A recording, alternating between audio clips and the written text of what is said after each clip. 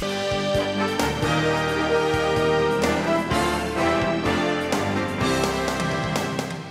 现在人家说柯文哲身上背着台北市新五大案哦，我们这个现场都帮他整理出来的，不问复密。我们稍微来看一下哈，除了现在呢，哎，正在调查当中的金华城案，好，这跟微金集团有关系的，容积率百分之八百四，好，台北市史上最高。另外呢，台智光的案子，先前也大家也讨论的沸沸扬扬，子约违反了母约的规范费率。好，那另外北市科到底有没有图利星光人寿呢？这跟星光集团有关系，以及接下来，哎，第一果菜市场会不会也成为重点的案件？这个被议员踢爆啊，减上发包合约，涉嫌图利中公五十亿，中公哇，这又是微金集团旗下这个相关的公司嘛？好，另外还有第五个案子哦，南港转运站权利金少了十亿，车站面积比例只有百分之八。好，这个案子是跟星光集团有关。那不过我先请教一下博文富民，现在很多人说。啦，第一果菜市场这马就稳得，这有可能就是下一个未爆弹哦！你怎么可以减上发包合约呢？请教一下副秘。这个第一果菜市场当时这个吴英宁在担任这个呃北农的这个总经理的时候，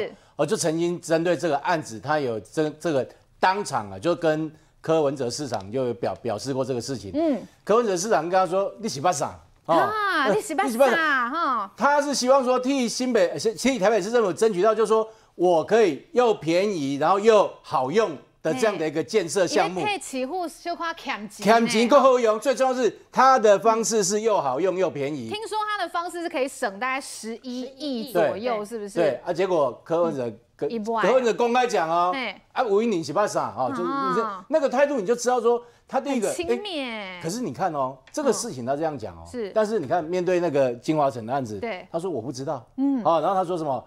昨昨天昨天那个还昨天那个北院的那个声明稿里面还讲，就是说这个柯文哲啊，他非专业啊，他说这个部分他不是专业。我的天哪，如果如果坦白讲这个这个如果这个道理可以通的话，这里面哪一个是他的专业？嗯，金华城他也不是这个。这个都都市计划的专业啊，台智光它也不是这个什么相关电子通讯专业，北市科它不是这个地上权的这个专业啊，它又不是代书，它也不是这个土地专家，第一果菜市场他也都不是专业，任何事情他只要说他不知道，他不不专业，嗯，那那这样就就没事了吗？所以你看哦，你看这些这些为什么一个一个一个一个这样子蹦出来？当时啊，柯文哲他在过去八年前他担任台北市长的时候，当时有所谓的五大案。当时那五大案后来都不了了之，嗯说巨大大巨蛋有没有？大巨蛋后来盖起来了，嗯，都不了了之哦。五大弊案变五大案，然后到五五大不成稳的案子，然后现在这几个五大案是一个一个都扎扎实实哦。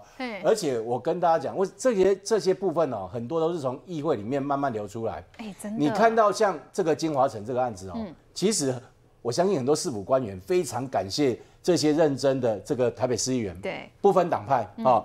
你光是这个金华城的调调查案子啊，里面所有的相关的会议资料、相关的资讯，你看一样一样一直流出来，有没有？因为这些里面的承办基层啊，都知道这个盖不住，他们也不想担责任。然后呢，公讲好康是大家，你看这个昨天北院讲说，哎，这个背后有极大极大金额的贿赂金额。我跟大家讲，那些承办哦。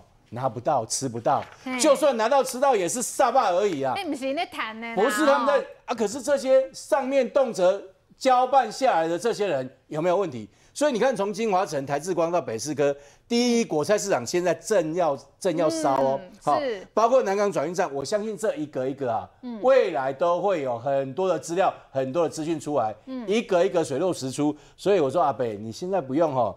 每天在这个台北地检署前面在那边搞搞东搞西啊，你这样搞啊搞不完的。嗯，真的有时间哦，叫小草这样到处去出征，很多争议的事情改出来恭候前策啦。台北市医院的部分，委员在这边啦，因为今天讲到这个果菜市场的部分，早上我看到有这篇新闻啊，说哎，过去林周明局长是力挺吴英宁的那个省钱的方案哦，让林周明嘛干不干北拜？哎，可是。彭振生跟柯文哲被爆料主导雨果市场的改建案，里面还有写到哦，这个里面呢，吴英宁呢哦提出这个案子，常常被市府洗脸哦，他多啊，博文复密有够嘛？柯文哲该唱功，爱丽丝巴萨，好，就只有林周明一个人力挺。好，那但是呢，我们看到，哎，柯文哲不认同，而且彭振生的态度也是耐人寻味。好，彭振生对于这个案子相当的强势。哎，里面报道这样写，说好多场会议都批评吴英宁的改建版本。